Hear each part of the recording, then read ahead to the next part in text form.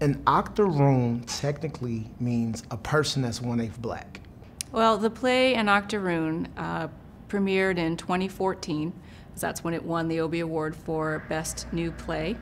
And it's an adaptation of Dion Boucicault's The Octoroon, which was an incredibly famous play during its time, which was like the 1850s. So it's pre Civil War, and it did document what happened during slavery. And it was a melodrama.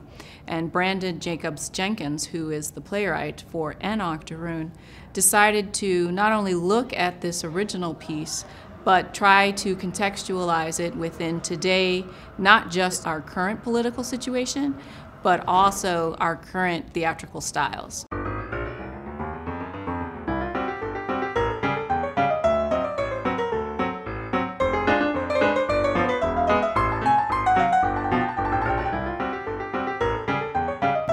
Ninety percent of the melodrama is the actual text from the original The Octoroon. But BJJ, the actual playwright, throws in some little gems and changes a few words. So that's the where the other 10% comes. Um, he did change a lot of the language of the slaves. Um, so he made their language contemporary, which is a really interesting choice. You get an opportunity with an octoroon to see, from my perspective, you get to see what it was really like for slaves to just have a normal conversation, an everyday conversation. And I love that with this adaptation, BJJ says that um, nobody knows what slaves talked like. Well, I saw Priscilla's drunk ass last night. She probably hung over. She is such a mess. Where you see her? Well, she came by the servants' quarters to get a drink and to say goodbye. Say goodbye for what? Well, I don't know. Maybe she got sold. They don't let you say goodbye when you get sold. Well, maybe she's taking a trip. I don't know. A trip to where, Minnie? Slaves don't take trips. So it was very, very contemporary, and he interweaves those into Dion Boucicault's original The Octoroon. We're living in 2016. There's a lot happening, and this play speaks to a lot of what is happening in America in 2016. But yeah, it's it's a tornado.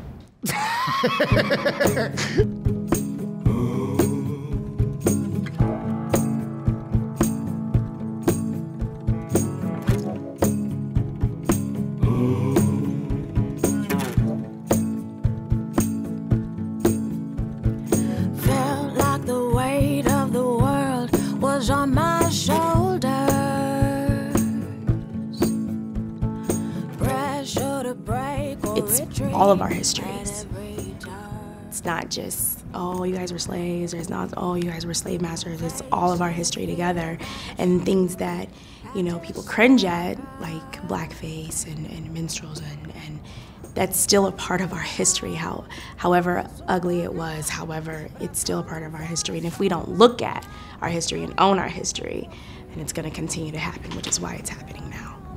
Looking for freedom, um, and to find it. I remember getting the script and reading it, and I threw it down like I can't do this because it was just so offensive at first.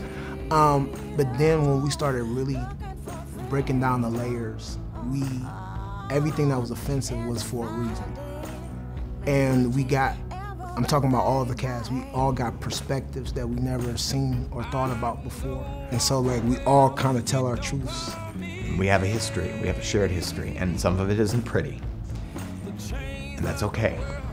Uh, but it's conversation we need to have. So if an audience member comes to this show and is able to look a person who doesn't look like them in the eye and, and have a conversation about what they just saw, I think that's a win. It's gonna make you laugh. It's gonna make you cry. It's gonna make you gasp. It's gonna make you angry. But what I hope it does is make you think.